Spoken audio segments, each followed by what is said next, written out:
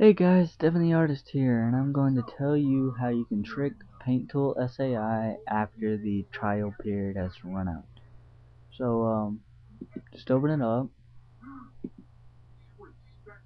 and it'll say the trial period expired, and if you want to use it continuously, please buy the software license. You don't have to buy the software license. I mean, it comes with a few new features that you didn't get in the trial, but still.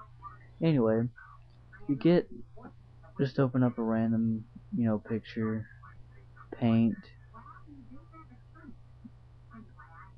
um, you know and purple you know whatever. And then find move your mouse out the way first. Find the print screen button on your keyboard press it and then go to paint. Open it up um, paste because print screen makes a copy of your screen. Get to where the picture is. Then highlight it. Well then new. Don't save. Paste. And there you go.